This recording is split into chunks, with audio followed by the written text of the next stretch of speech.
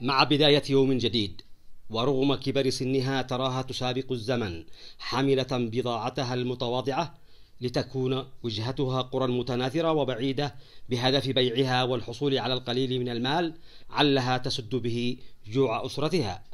هكذا هو حال النازحة رشيدة التي نزحت من منطقة الفاخر إلى ضواحي مدينة قعطبة بالضالع وفي هذه الخيمة المتواضعة باتت تفتقر وأسرتها لأدنى مقومات الحياة وتلجأ عند عودتها متأخرة لاستخدام أساليب بدائية في أعمالها المنزلية فمواجع النزوح تطاردها أينما كانت. نقوم بالفجر نصلي الفجر ونصرح نطلب الله على على بناتي معي مكالف معي يتامى ما حدا اللي دعمنا ولا حدا اللي ادينا منظمات وأنا كبيرة السن إحنا لسرحنا لا بعيد ورجعنا ما رجعنا بالمغرب إحنا زاحفين. كنت إحنا بعد لقمة العيش. نقرينا على بناتنا معنا يتامى وهذا بضاعتنا. معنا بضاعة. أحيانا يدونا دين واحيانا ما نحصلش.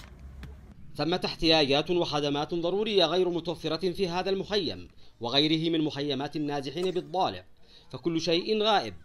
إلا من الاستقرار وتضاعف المعاناة والحرمان ورداءة الوضع الاقتصادي كما يقولون. لتصبح أكثر من ثمانية آلاف أسرة نازحة بالضالع مهددة بالأمراض ومخاطر الجوع والمجاعة ومناشدات للجهات الحكومية والمنظمات الإنسانية الدولية بالتدخل لأجلهم وانتشالهم من تلك الأوضاع المزرية. إن إحنا وضعنا بهذا العام خاص من العام الأول.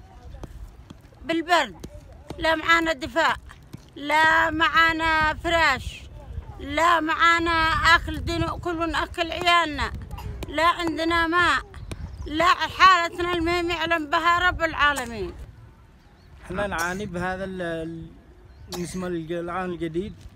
يعني ب 2023 نطالب يعني المنظمات يعني مدونا كطرابيل بس. بوجودنا طرابيل يعني منين ثمان حالات تسع حالات.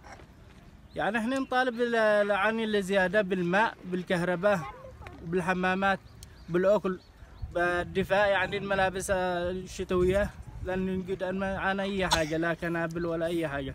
رشيدة قصة كفاح ملهمة في زمن الحرب والنزوح والتشرد.